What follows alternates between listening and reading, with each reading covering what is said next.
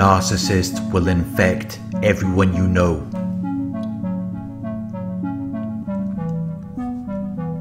The narcissist will try to contaminate everyone in your family, friends, social circle, workplace. Everyone that you know, everyone that you talk to, everyone that you come into contact with. Narcissist will contaminate all of these people through exposure to their distorted way of thinking their ideas and beliefs.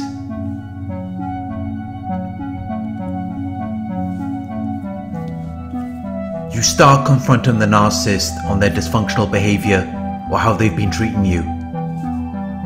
And you're no longer falling for their gaslighting. You're no longer believing in their lies. You're trusting your intuition and staying grounded in your own beliefs and understanding of the situation. You might make it known to the narcissist that you are planning on leaving them. You might make it known to them that you no longer want anything to do with them. But the narcissist cannot just let you go. They can't just allow you to move on and start a new life without them. When you start confronting them and talking about how you want to leave and move on, they feel as though they are losing control over you and the situation. They have to engage in these types of situations where they have control or an aggressive exercise of power over a person to boost their stature or feelings of self-worth. It gives them a sense of importance or reputation gained by their ability or achievement of locking you down and securing you as their source of supply. It is an activity or a way of behaving that makes them feel powerful. It is something that they do for the pleasure of using power to control you.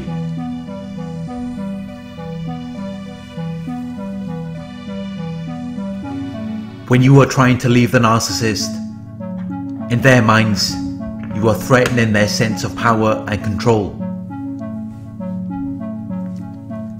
They will begin to associate with the family members that you talk to, your friends, people in your social circle, people in your workplace, people that you know or talk to, anyone who you come into contact with. The narcissist will associate with these people and then convince them to turn against you. Will plant certain ideas, suggestions, or ways of thinking into their minds.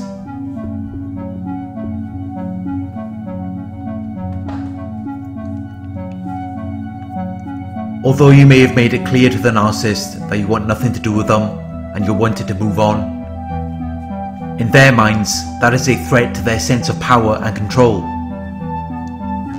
In their minds, if you can move on and be happy with someone else, they have lost. And they don't want to lose. The narcissist doesn't want to lose, they want to win.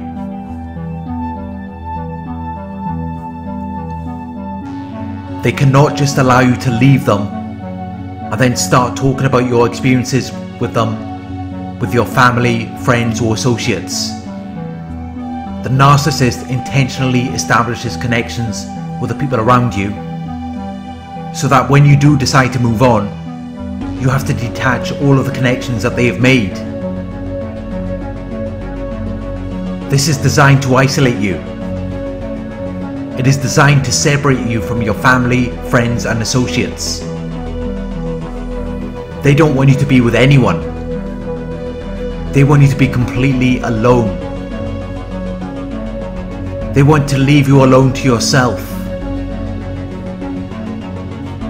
This gives them the ability to be your only source of influence.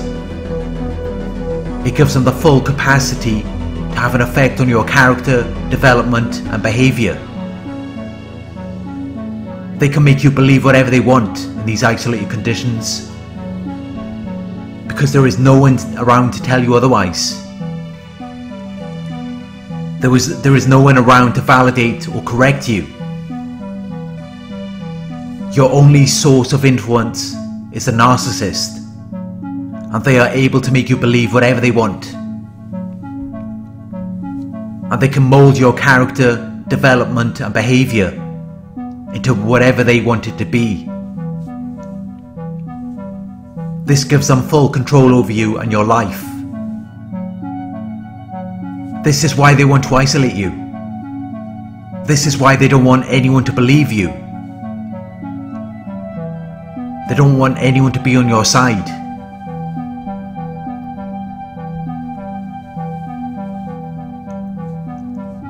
They put so much effort into go, going behind your back and telling people about the conflicts or disagreements that you have had with them. And they have expressed it in a way that makes you look like the bad person. It makes you look like a person that your family, friends, and associates would no longer desire to associate with. They put so much effort into doing that because they want you to be alone. They don't want to see you with anyone. This is designed to give them full control and influence over you. They are also very jealous individuals and they know this. They know that they're not going to be able to stand the thought or idea of you being with someone else. Whether it's a relationship partner or even just a friend. They don't like the thought or idea of someone taking you away from them because they already know that you are going to be far happier than you ever were with them. That's why they went behind your back and started talking to people about you. This was done intentionally to separate you from anyone who could potentially help or support you. Someone who could befriend you or give you the love and care that they never did.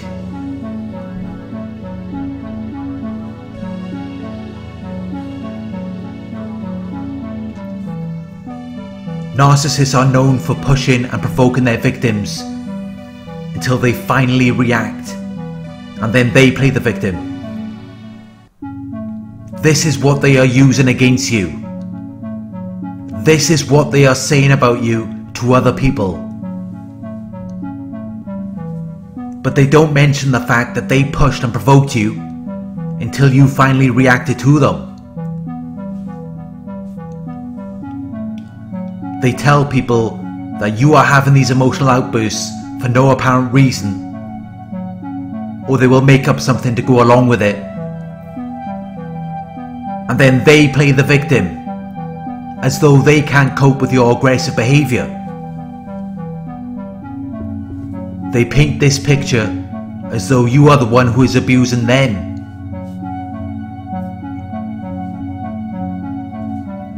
They start talking about you behind your back and asking people what you went through with them and how they dealt with it.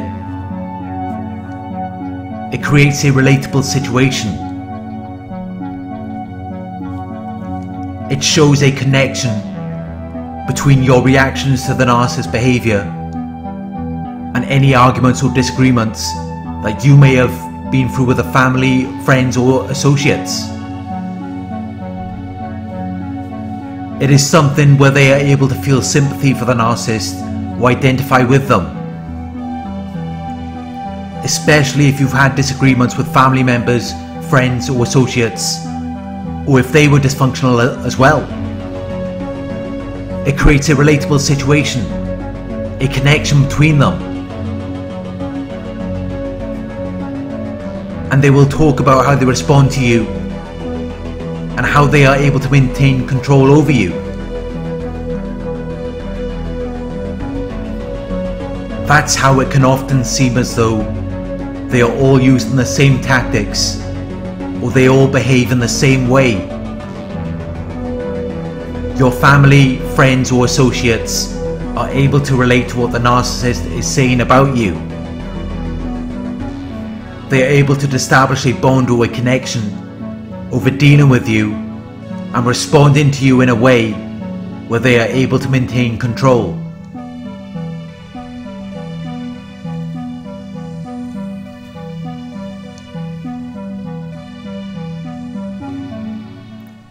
The narcissist can become ingrained or enmeshed within your family or social circle.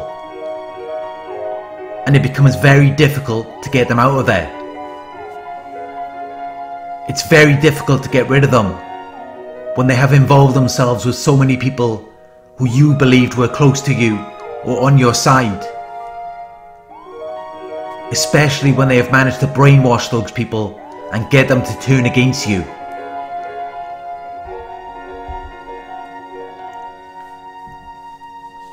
When you go to your family, friends or associates and try to tell them your side of the story, they are not going to hear it. Because the narcissist has already infected them with their distorted way of thinking, their ideas and beliefs. And if you have ever confided in the narcissist about a certain situation that you have dealt with, with a family member, friend or associate, they will have spoken about that to them as well to make it seem as though you are against them or you are talking about them. This is how they get people who you're close with to turn against you. Anything that you share with a narcissist will be used against you later down the line. They will use it to turn people against you.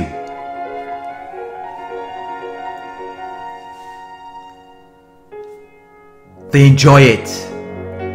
They love turning people against each other. They love to cause harm or trouble to people who were once close together.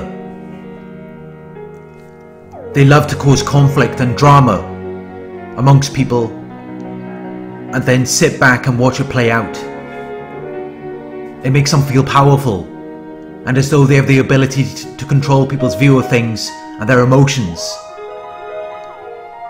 They love to cause these kinds of problems for people. Especially if they can't get their way and have it play out as they would like.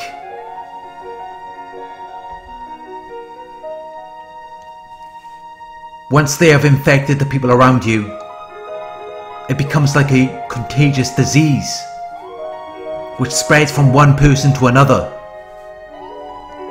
Their emotions, feelings and attitudes spread and affect other people. It transmits or transfers. It goes from one person to the next person until everyone around you is infected by this. And now you become the one who is different. You become the one with a different or opposing feeling or attitude regarding the situation. This is why it is so difficult to remove them once they have infected the people around you.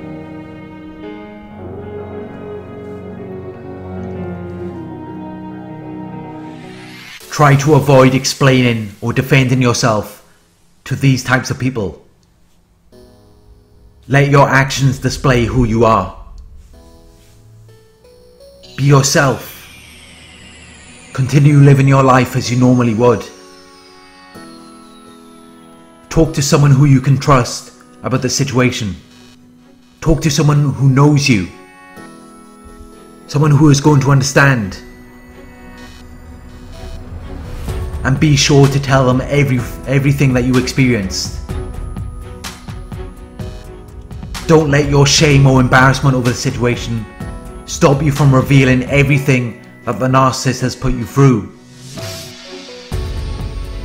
The narcissist is counting on your shame and embarrassment about them and the situation to prevent you from revealing what you had to go through.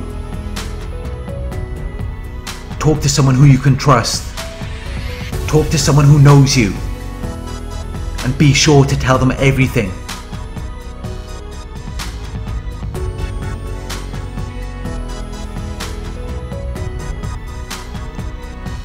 Thank you for watching. I hope this video resonated with you. Please like, comment, share and subscribe. click the bell icon to receive notifications for my future videos. If you'd like to donate, my PayPal link is in the video description. Coaching inquiries, you can email me at narcsurvivorcoaching at gmail.com. Check out the merchandise in the Knox store, where you can purchase your own Knox t-shirt, tank top or mug. The link is in the video description. Thank you for watching and I'll talk to you soon.